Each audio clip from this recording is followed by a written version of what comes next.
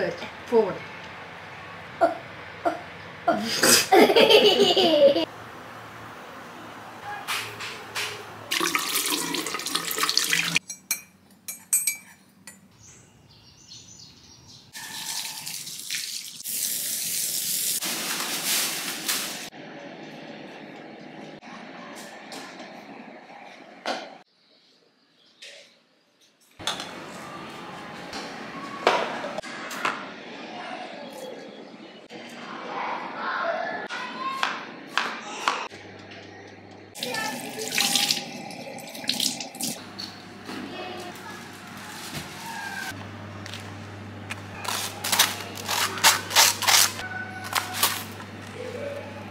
Labas rytas šeimyna, taip ir nepasisveikinau. Dabar yra po 11.45, važiuoju susitikti su, uh, su draugėmis.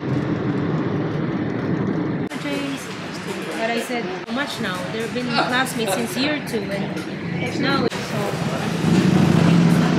Labas rytas šeimyna, šiandieną yra sekmadienis. Žinokit, vakar gyvatę mačiau namų, prie namų čia, prie durų, jūs įsivaizduojat. Nu dabar yra gyvačių sezonas, tai buvo ir prie mokyklos. Vieną matėme didelę, taip pat vakar mačiau nam, prie namų. Tai reikia atsargiai su tom durim, nes aš palieku duris atidarytas, tai šunim, šunims, žinote.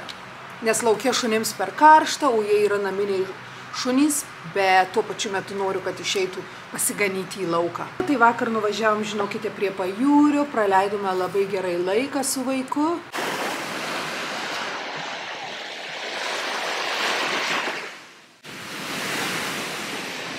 Matote, kiek nuo saulės 50 nesaulė.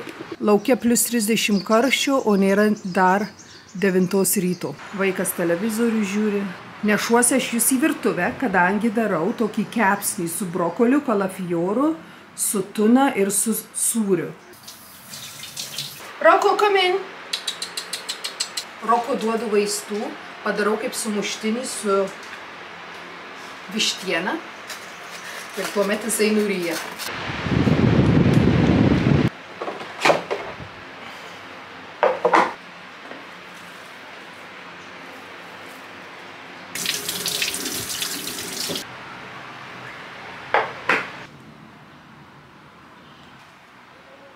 Ръка.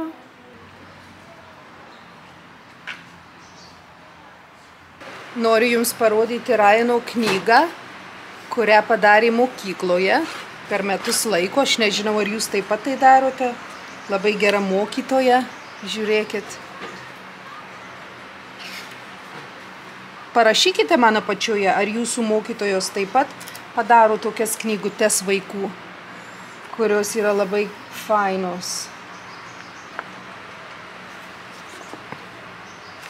Žiūrėkite, kaip skaniai atrodo. Wow. Brokolis, kalif, um, kalafioras, sūris ir tuna. Noriu Jums parodyti, kaip gražiai atrodo prie namų. Labai graži aplinka, paukščiai čiulba. Rainas sakė, kad vanduo labai šaltas. Na, pažiūrim. Įkišame koją vaikelį. O, tikrai taip. Now this, that's not the ball. Glorija pabėgų, reikia sugražinti. Neik maudytis vienas Rainai, gerai? Don't go to the pool. Don't go to the pool, please. Reikia šunį greitai susigražinti. Glorija! Jinai žino, ką padarė. Vaikelį pabėgo. Baisi merga. Kuomet jie pabėga, gali mašiną pervažiuoti, tai to nenorime.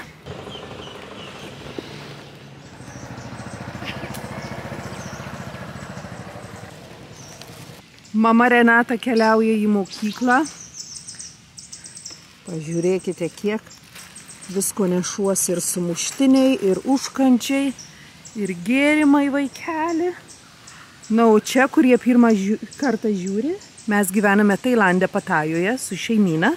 Sūnus Rainas iš Hongkongo ir jisai eina į miškų mokyklą. Vadinasi, miškų mokykla, džiunglių mokykla.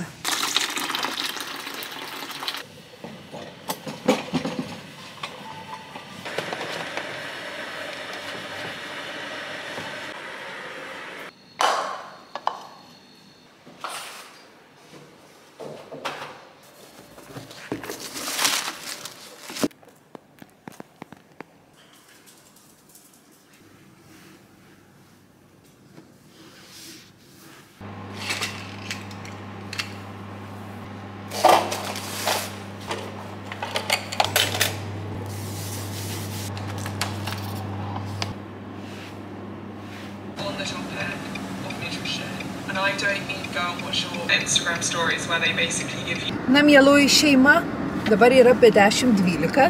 Matėte, susitvarkiau, ui, matėte, susitvarkiau uh, mokyklą, paprašė direktorius, kad aptvarkyčiau, kuomet vaikai išvažiavę į Bankoką, dabar atvažiavau pasportuoti ir važiuosime už valandos, nu po sporto išsimaudysiu, važiuosime valgyti pietų su vyru. Tai yra mūsų toks kaip savaitinis pasimatymas. Mes tai bandome daryti tik tais dviese, nors vieną kartą per savaitę, kad gerai praleistumėm laiką. O, mačiau vyro motociklas pastatytas, jisai taip pat sporto klube, jisai meta svorį. Aš esu patenkinta ne dėl pačio svorio, bet patenkinta dėl sveikatos, nes um, Simonui 57 metai, tai tikrai nėra vyras jaunas, bet jeigu gerai prisižiūrės save ir savo sveikatą, aš manau, kad neturės jokių problemų su sveikata, ne, o sveikata yra mūsų pats brangiausias turtas. Turi didelį kibirą vandens.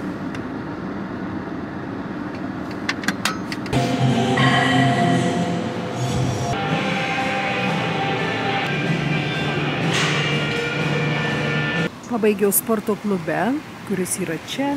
Na, o dabar laikas namo. Padariau intensyvę jogos klasę 40 minučių.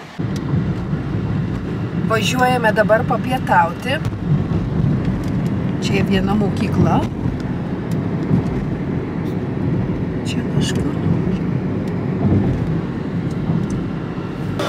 Parodau, ką turi beef stew spageti, tai netidarysiu, o gal atidarysiu. Žiūrėkime, kaip skaniai atrodo.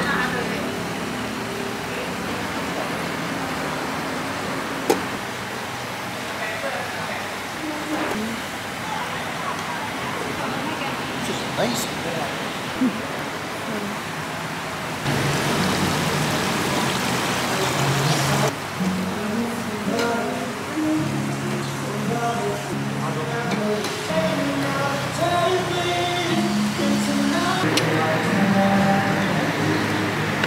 Tai yra morkų tortas.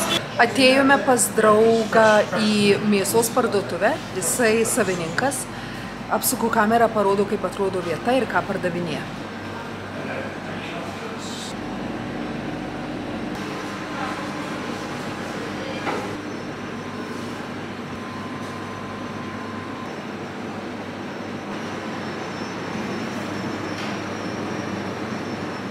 Sveikos mielos moterys ir vyrai. Šiandieną yra penktadienis ir kaip ir kalėdinis vakarėlis Raino mokykloje. Dabar mes esame Raino mokykloje. Deja, nenufilmavau visiškai vaikų. Kodėl? Žinoma, pirmas dalykas negalima, nenoriu, nes ne visi tėvai nori, kad filmuotum jų vaikus, o jų vaikus. Antras dalykas, buvo labai garsu ir šiaip buvau užsiemus. Gerai. Dabar mes esame kaip ir po vakarėlių arba vakarėlis, sakyčiau. Apsuksiu kamerą ir parodysiu, kaip atrodo. Čia yra mūsų mokyklos patalpos vienos, čia yra antros patalpos, gana faina, pažiūrėkite. Vaikai žaidžia.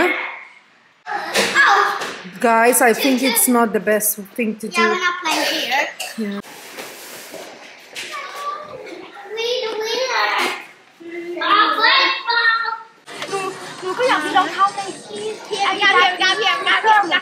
lėkštės pasiimti, nes žiūriu, kad du šunys tuoj gal susipjaus. Hello, I give you croissants. Because he was